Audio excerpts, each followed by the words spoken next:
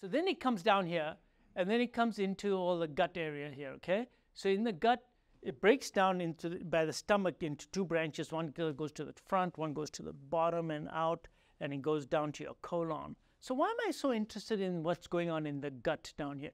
Well, you all know I'm very interested in the gut. Why am I interested in the gut? Because there's another huge representation that my vagus nerve in my gut will affect my brain and can affect my heart as well. And my vagus nerve over here is going to affect my leaky gut and my microbiome as well. And I already told you all that I believe that all inflammation starts in the gut. All inflammation starts in the gut. So anything to do with the gut, including the vagus nerve, is of interest to me. If I can hack your vagus nerve and make your gut work better, you will have less metabolic endotoxemia. That means your leaky gut will be less. Therefore, things that should stay in the sewer will stay in the sewer and not get into your bloodstream. If you have a leaky gut, as a result of dysfunctional vagus nerve, or your vagus nerve is, is not working properly for multiple reasons, which I'll, I'll show you in a minute, you're going to get more leaky gut. If you get leaky gut, you get lipopolysaccharides and, and interleukins and, and other inflammatory molecules getting out from your gut into your bloodstream and then going to your whole body and causing inflammation. Chronic inflammation. Most diseases today are chronic inflammation. Look, you guys are not dying of dysentery or, or leprosy and all those bad things, right? So it's very important to understand this chronic inflammation, where does it come from? Where does most inflammation come from? It comes from your gut. Now, sometimes we also do bad things, you know, we put things on our bodies and whatnot on our body. But it comes from your gut. That's the biggest threat you have. You have a hundred, uh, you have what? A hundred trillion bacteria in your gut. And not only that, but you got the wrong bugs in your gut. Fine, you got 100 trillion, fine. But you got the wrong ones there. Why? Because you killed off the good ones, right? So when the bad ones are in your gut, what are they doing to your vagus nerve? They're stimulating it, they're making it dysfunctional. So when they produce, when those bacteria produce bad substances, neurotransmitters, they'll go up the vagus nerve and they can travel all the way into the brain. Now that should scare you. Do you want your bacterial products to travel up all the way to the brain? So there's a strong correlation between what's going on in the gut and some of the neurodegenerative diseases, which is a whole new topic we can talk about, such as Parkinson's, uh, Parkinson's and, and also with uh, other movement disorders. So Parkinson's is huge. A lot of Parkinson's going on. Everyone knows somebody who's got Parkinson's. Dementia, inflammatory conditions in the brain. How did they get there? Well, these things can get in through the blood and they can cross the blood brain barrier, but they can also get direct entry into the brain through your vagus nerve. Did you know that? That you can actually get direct entry into your brain through your vagus nerve. And there are studies now showing that particles that were found originally in the intestine ended up in the brain via the vagus nerve. So I say that the vagus nerve here is very important. Plus, you got to remember when you have the wrong bacteria or you have inflammation in your gut, or let's say you have food sensitivities, like you, you're allergic to wheat, wheat germ agglutinin. Oh, it's horrible. Wheat germ agglutinin is the number one thing that I'm finding in my patients who have either got uh, autoimmune diseases or coronary artery disease or hypertension, metabolic syndrome. The one thing I'm finding is wheat germ agglutinin allergy. So it's really a, sensitivity. It's not gluten only. People think of celiac disease. No. So what happens with wheat germ agglutinin is it causes inflammation here in the gut. So the first thing that's going to get affected by that, or one of the first things that's going to be affected by the inflammation in the gut, is the nervous system in your gut. It's called the enteric nervous system, right? That's the nervous system of your gut. After the brain, the second largest neural network is in your gut. Now, if it is supplying your intestines and your intestines are all messed up, what's happened to that vagus nerve, enteric nervous system? It's messed up. So it's sending wrong signals to the brain from the gut. And those signals, remember, it's a two way channel. So they, they're going up and down, up and down, and in between, there's your lungs, there's your heart, there's your heart rate. No wonder you get all sorts of vasomotor and vasovagal symptoms when you have gut problems. I'll give you an example. A patient came to see me the other day, and she had what is known as POTS. So she had a very high heart rate all the time, and when she stood up, her blood pressure would just drop all the time. Why? Because she got autonomic dysfunction. Because look, you, you, when you stand up, your autonomic nervous system is supposed to fix everything, right? It's supposed to fix everything by vasoconstricting you. Well, she had inappropriate sinus tachycardia all the time. She also had POTS. So, in talking to her, I started concentrating on her gut. And she said, Excuse me, I thought you were a cardiologist. I said, I am. but it turns out that she had classic symptoms of small intestinal bacterial overgrowth. And I treated it. I gave her some of my herbal preparations, no antibiotics. I just gave her herbal preparations. And she came back a month later. She's saying, Oh my God, I finished this. And I, of course, put on some quercetin and some curcumin later on and, and some other special um, essential oils. And she got better. And she says, I'm no longer fainting. My heart rate has come down. I feel like, like I did before. It's so good. I fixed her heart rhythm through her gut. And I'm saying this all the time. I'm saying this all the time.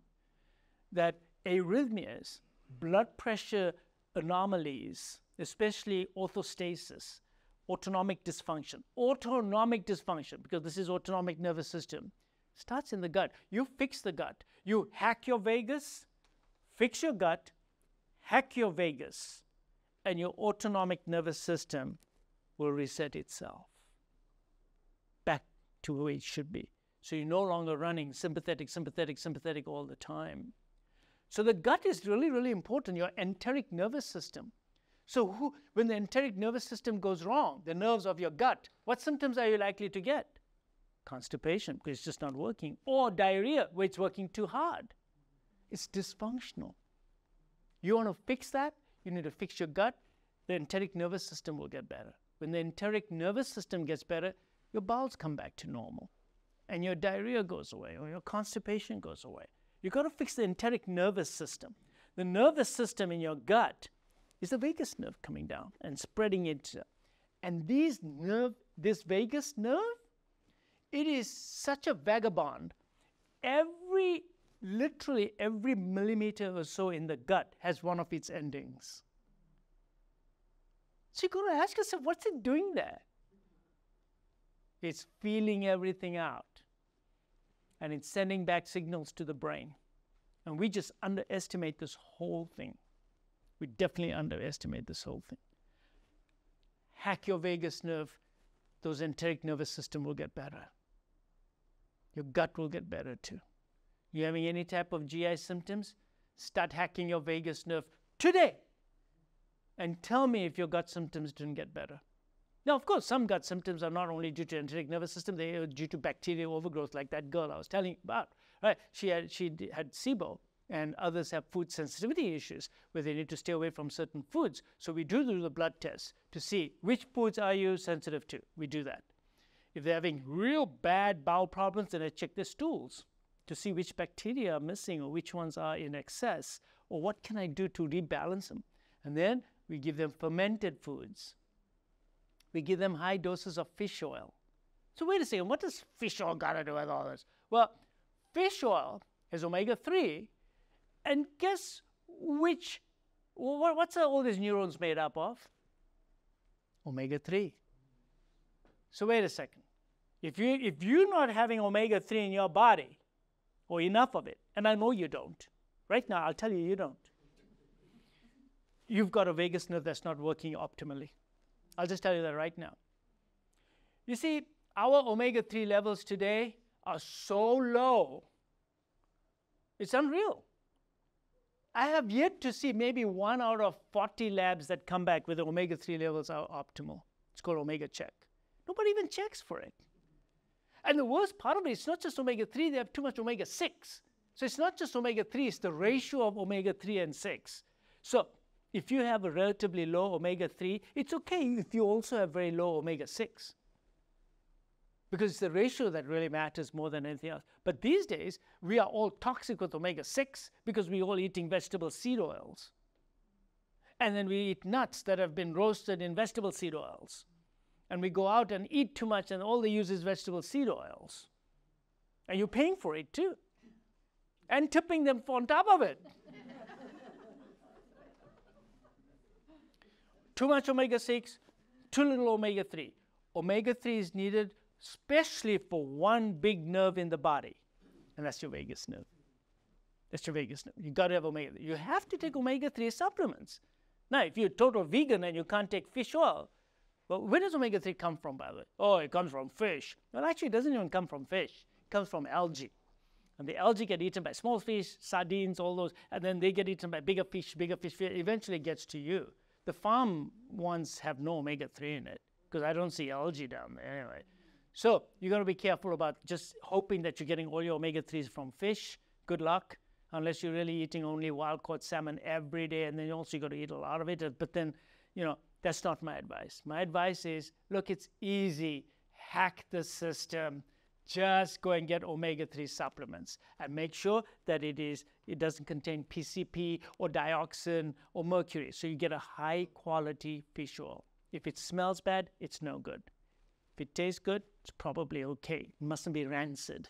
And once you get it, put in your refrigerator so it doesn't get rancid. Rancid means what? Oxidized. Because if, if, if fatty acids get oxidized, they're really bad for you, right? Causes small dense LDL, causes lipid peroxidation, blah, blah, blah. All the things we talked about on other shows. But bottom line is you, need, you, you, want, to, you want a healthy vagus nerve. A healthy vagus nerve is full of omega 3. And you must hack it frequently constantly hack your vagus nerve, then that pathway will be will be facilitated, as we call it. So here we go. So it stopped here. Oh yeah, okay. I saw another girl the other day. She, she was having gallbladder issues. So her gallbladder wasn't working. So what innervates the gallbladder? The vagus nerve, right?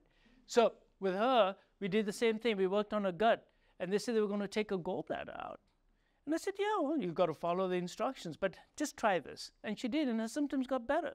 So she didn't have a gallstone. So why? What was the problem? She had a lazy gallbladder. So they give you this little medication, and then they look at your contractions on your gallbladder, and her gallbladder just wasn't contracting properly. And sure, that'll cause a lot of problems, right? So my solution for that was, listen, just just wait a month. Try this, and we worked on her gut and we worked on her motility and her vagus nerve function. And she did exercises, vagal nerve exercises, and she still has a gallbladder. So I just think that it's very important. Now, I'm not saying that all gallbladders must stay in if stones. No, I'm not saying that. I'm just saying that there's lots more that meets the eye. Let's just be a little sensitive about this too. So, if you enjoyed this short segment, here's another clip that I think you'll really enjoy. And if you'd like to see the whole video, then click here.